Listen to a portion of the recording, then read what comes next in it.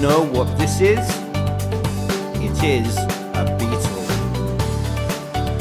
Beetles have two wings, six legs, a head, a thorax, and an abdomen. Beetles come in many colors. For example, brown, black, red, yellow, green, metallic, rainbow, and blue. There are over 300,000 species of beetle.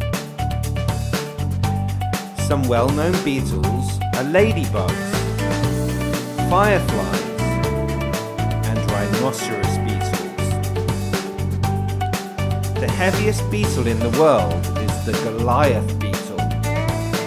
Goliath beetles live in Africa and can weigh up to 100 grams. They are the heaviest insect in the world. The lightest beetle in the world is the feather-winged beetle. It weighs 0.4 milligrams. That's about one-fifth of the weight of a mosquito and about one-tenth of the weight of a grain of rice. Beetles eat a wide variety of things, but it really depends on the beetle.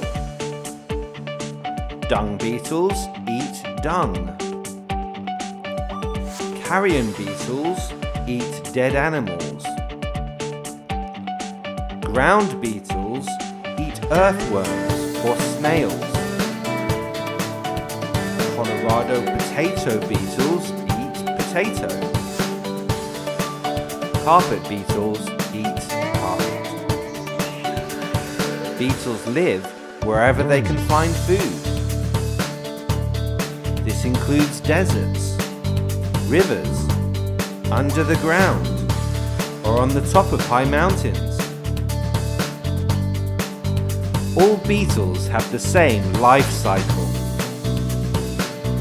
They start life as eggs. The eggs hatch and become larvae. The larvae pupate and become pupa. The pupa molt and become beetles. Then the beetles lay eggs. This can take days or years.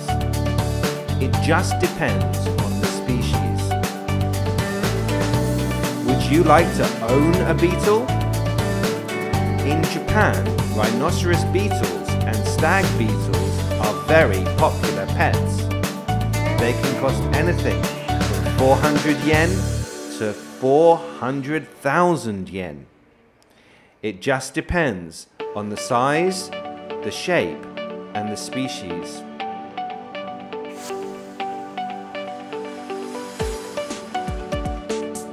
This is the end of the documentary.